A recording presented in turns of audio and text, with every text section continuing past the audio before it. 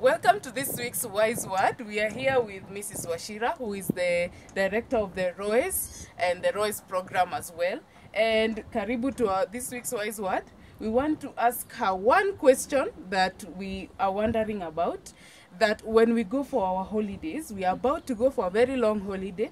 Uh, how do we keep the fire of faith burning? Because most of us, when we're in school, we have CU and we have things like that. But when we go home, some of us don't even go to church in the first place. So how do we keep the fire burning when we go back home? Mm, okay, that's a good question because we find most students when they are in school they're on fire for God, and when they go home, uh, they, they get into issues until that fire uh, goes down. By the time they are opening school again, they are wondering, am I saved or am I not? But if I can remember when ourselves we were in school, I gave my life to Christ when I was in Form 1.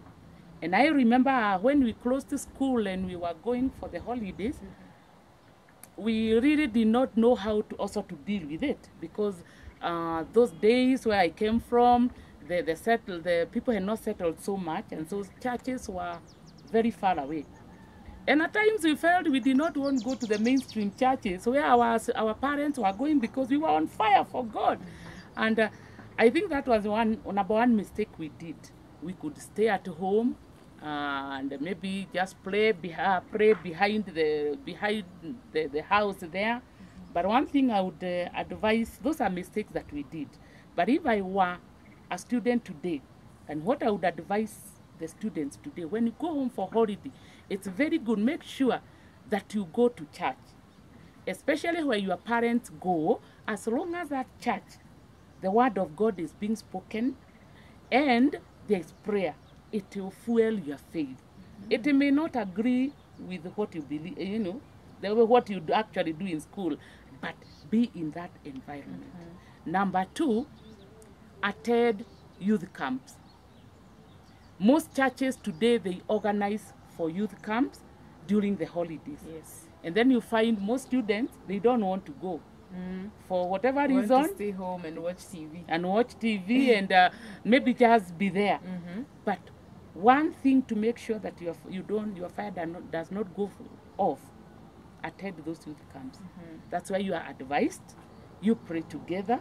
There are people who are speaking to you. By and by, you find that you continue to fuel your. Number three, keep off wrong company Yes. when you go back home, you find maybe there are those students you are with in primary school, they never went to, to they were they never continued. Mm-hmm. Others they just went maybe to a day school, and maybe they have engaged themselves with issues that are not really very good. So first of all, find out so and so.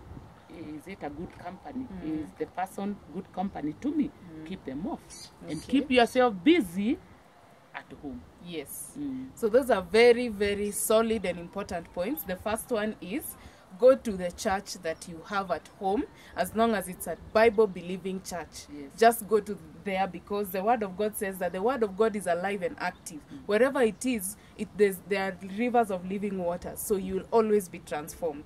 Secondly, go to youth camps. Every church has at least one activity for the teenagers and the youth. Make sure you are in those activities. Yes. And the third one, it might not even be for your church only. You can try and find out what other churches around are doing as Yes. long as they are Bible believing churches. Mm-hmm. And the third thing is keep yourself busy and avoid wrong company. Yes. Thank you very much. Those are good points. I second the points, and by the word of two witnesses, a matter is established. Yes. God bless you. We'll see you next week for next week's Wise Word.